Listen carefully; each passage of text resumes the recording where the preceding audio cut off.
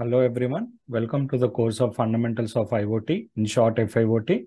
In today's session, we are going to do an experiment, like we are going to um, interface an actuator, which is a servo motor to the Arduino, and we are going to install or uh, uh, dump a predefined program in order to sweep or move the servo motor, okay? So this is, this experiment is with respect to the integration of sensors and actuators with Arduino, which belongs to the unit 2.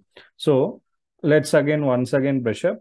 What are these uh, actually servo motor? So a servo motor is a type of a motor that can rotate with great precision. Okay. So these simple motors can directly work with 5 volt supply. Even if you directly connect it to the Arduino 5 volts, it works clearly. Okay. And they also make an angles like 90 degrees or 180 degrees if you see the color coding of the uh, wire connections with respect to the servo motor, this servo motor will be having three wires.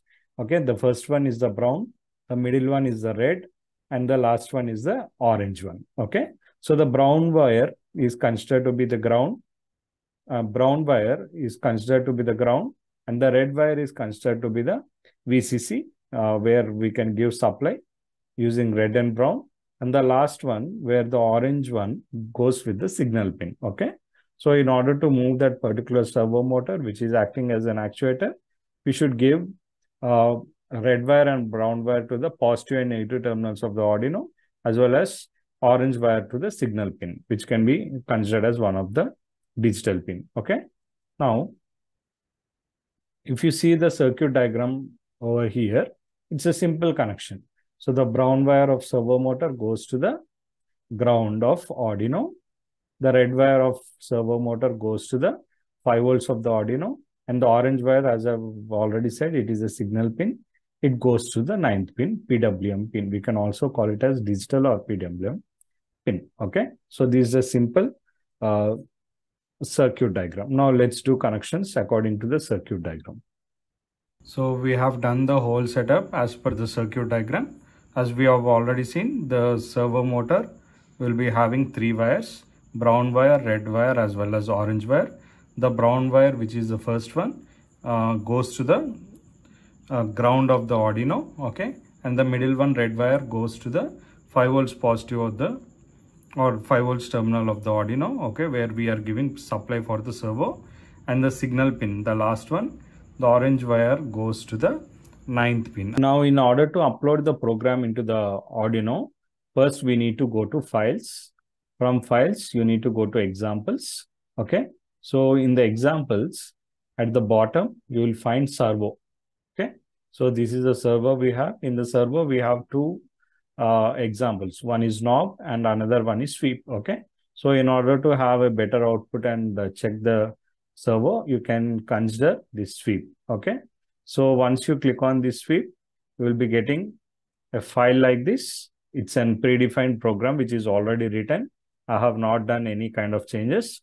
So this will be having say servo header files, okay, and some functions, okay, and some positions. Position is equal to zero, and my servo dot attach. The servo signal pin has been attached to the ninth pin of the Arduino. Okay, so with respect to the positions, it will be keep on changing its position from 0 degrees to 180 degrees, again from 180 degrees to 0 degrees. So with a delay of some um, some milliseconds. Okay, so it waits for 15 milliseconds to uh, reach the position. After that, it again goes back to the own position. So we can see as an output, as an actuator of servo, we can see the servo moving from 0 degrees to 180 degrees again from 180 degrees to 0 degrees. Okay.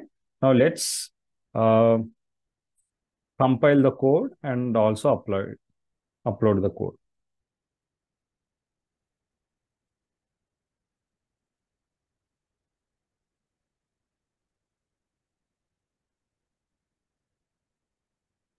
Now the code has been compiled. Now let's connect the Arduino board.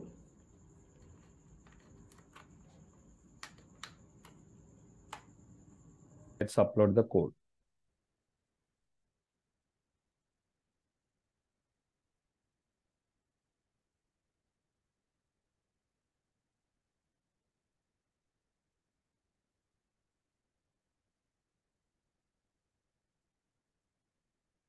See. Okay, done uploading. Before uploading the code, make sure that you have properly connected the Arduino so uh, what we need to do in order to check the Arduino, you need to go to tools. You need to select the Arduino Uno board as well as your COM port. Okay, you already know, right? Okay, same process. Okay. So once the board is selected, you can compile and upload the code into the board. Okay. Now let's see the output, how it goes.